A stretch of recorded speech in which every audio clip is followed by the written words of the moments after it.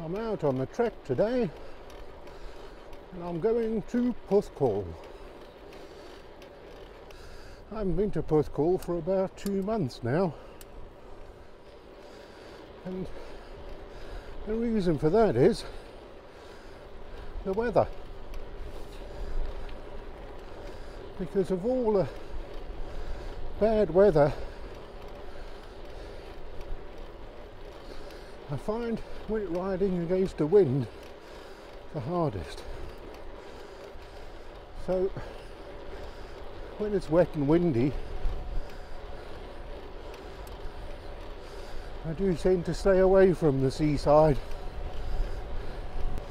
Although it is quite windy today, windier than I thought. So I hope it's not going to be too difficult to ride. Last time I went to Porthcawl was Christmas Eve when a friend from work came over. He'd been threatening to go for a ride together for months and it turned out to be quite a reasonable day. But when you're trying to impress your friends about where you live,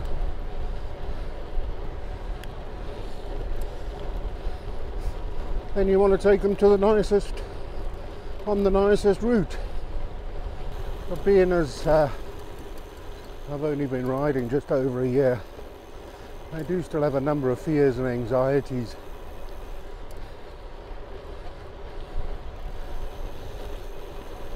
And I do fear going out into the wind and not being able to cope and running out of energy.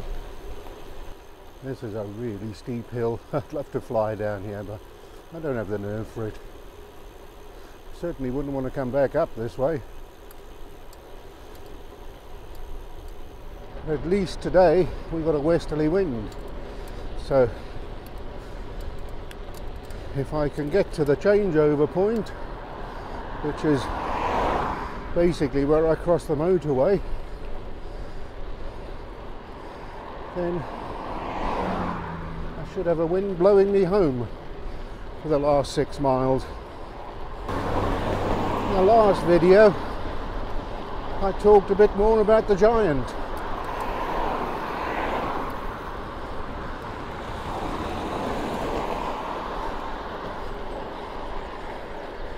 So I thought, well, perhaps in this video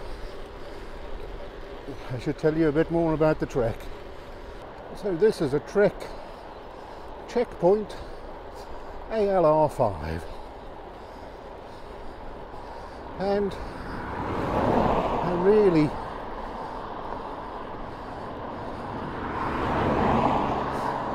ended up with it. I say ended up with it. I, I like the bike but it wasn't my first choice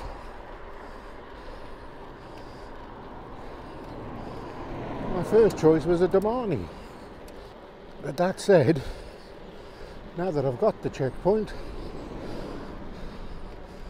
I think I like it a lot more than I would have if I'd got the Domane. Turned out to be a really good buy in the end, and there's a strong emotional attachment to this bike.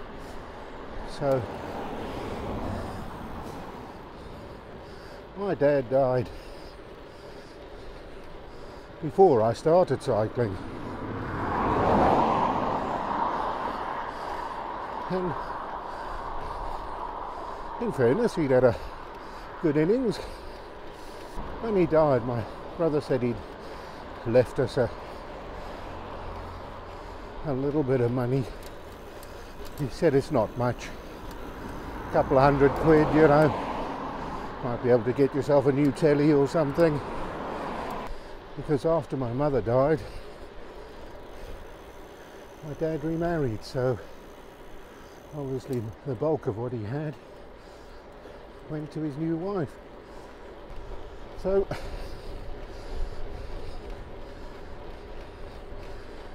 the whole process of sorting out wills and this, that, and the other really took a long time, well over a year. And during that time, I'd started cycling and I I wanted a better bike. Plus the fact the cube was too small for me. And I was looking around and I did like the look of the but I didn't think that I was going to buy a new bike. Anyway, during this whole process, and I'd been to the bike shop several times to look, and when the inheritance came through, it was a lot more than my brother and I had expected. So I said, sod it, I'm going to get a new bike. So I went down the shop, try and get hold of a Domane, and they didn't have any. And it was going to be months before I could get one and one thing and another. But all the time I was there, I kept looking at this checkpoint and I just loved the colour of it. The Domane is only available in grey, well it was at that time.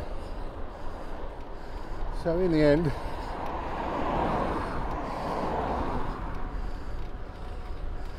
because I love the colour and because I wanted a bike now, I bought it.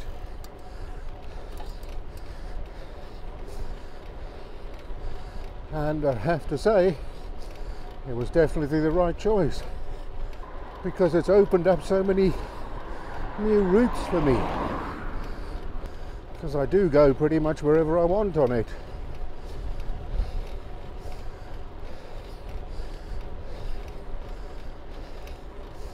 There's a gravel path. I've even been on a bit of single track with it.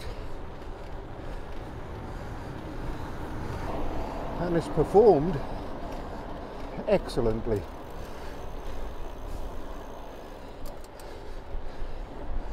So I'm really pleased with it.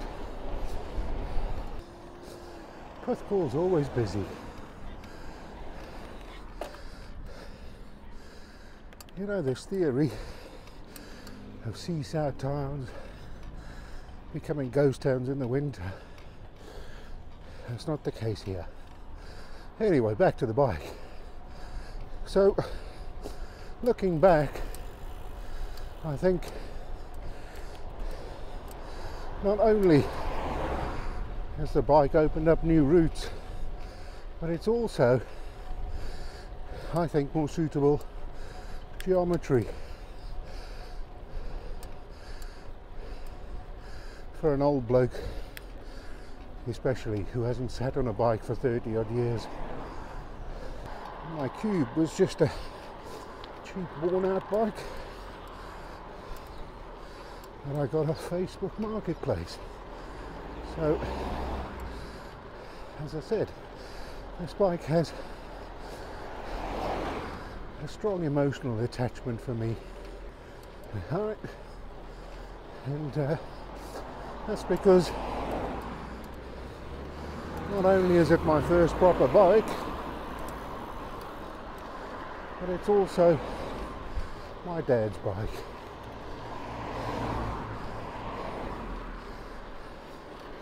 He doesn't know he got it for me, but nevertheless. So this frame size is a 58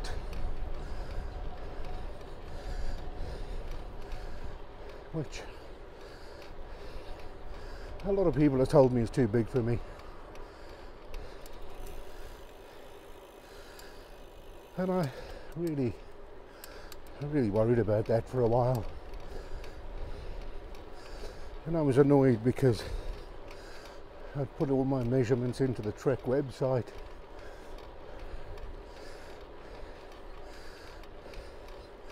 And 58 is what it recommended but I sit quite comfortably on the bike. So, does it really matter what other people think or recommend. But that's not to say I haven't had any problems, because I have. I had a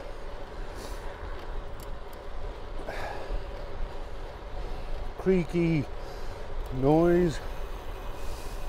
Well, before that, first day out.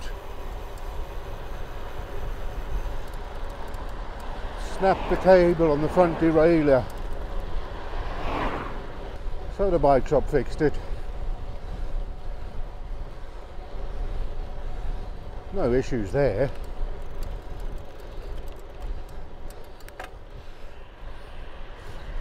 Then after that,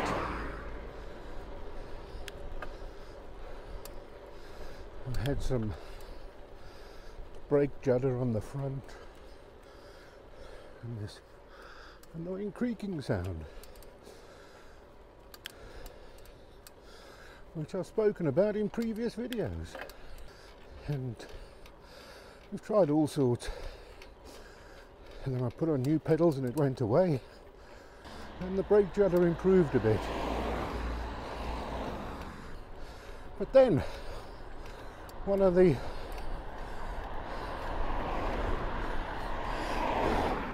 top tube mounting bolt lugs broke loose and I haven't even used it. But you could see it wobbling in the frame. So I took it back to the shop where I bought it. I mean I wasn't using it. But I thought well if I do want to use it sometime in the future and by then it's out of warranty or if it falls out altogether and leaves a gaping hole in the frame. And of course as I've discussed before I think bikes are too expensive. So I paid a lot of money for it in my mind. So why shouldn't it be right? Morning.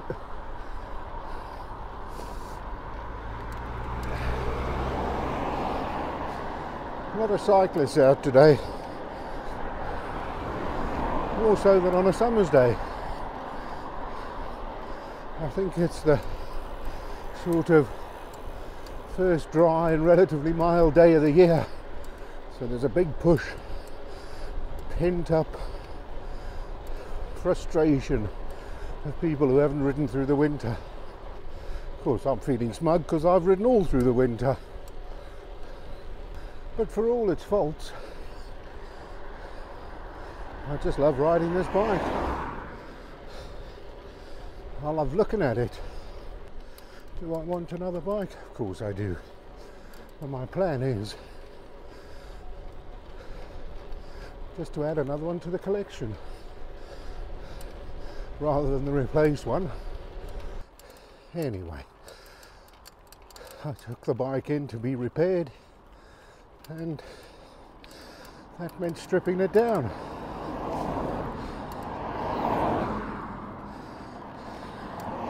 Sent the frame in and they repaired it. So no problems there. But since I've had it back, the creaking noise has come back and the brake judder has come back. So I suppose this bike is like a naughty child. You love them, but you get a bit frustrated when they don't do what you want. Oh, this hill just goes on and on and on. After those traffic lights, I turn right. And I get to have a drink, something to eat. Because I'm not that good at eating on the bike.